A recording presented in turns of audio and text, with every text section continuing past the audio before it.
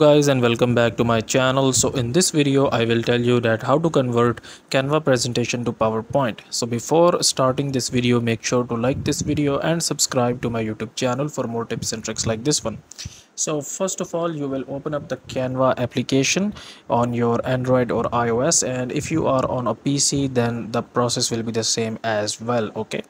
And uh, you will see this kind of interface here. This is the home page of canva. And then you will basically scroll down here. And here you can see we have some presentations okay? So you will tap any of the presentation here. And basically it uh, the presentation will open up in the separate window here. So here you can see that the presentation is opened up okay? So now basically uh, when you are done working on your presentation and now it's time to export you can basically tap on the share option at the top right here.